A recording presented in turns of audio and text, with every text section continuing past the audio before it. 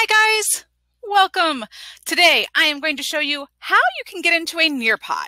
So your teacher has told you that you are going to be doing a Nearpod lesson and you're like, hold up, what's a Nearpod lesson? That's what I'm going to show you today.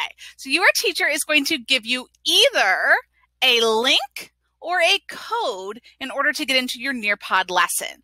If they give you a link, then you are just going to put your link in the bar let me copy this. Here we go. Put it right up there in the bar.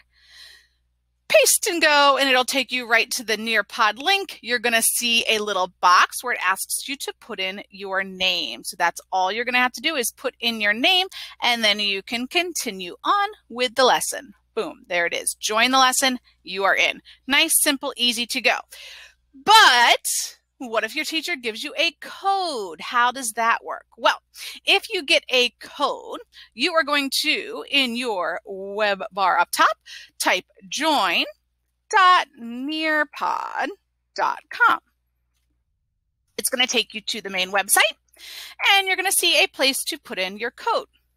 Boom, right there, enter code. You're going to type in the code the teacher gives you. Do, do, do, do. Join. And now we are at the same place. It's going to give us a little box where we put in our name and we join the lesson. One tip, when you go to put in your name, put in your real name. Don't use a nickname. You want to get credit for doing this lesson. So make sure you put in your real name, first and last name, preferably, unless your teacher tells you something different.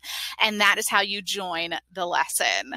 Good luck, happy Nearpodding and have a wonderful day.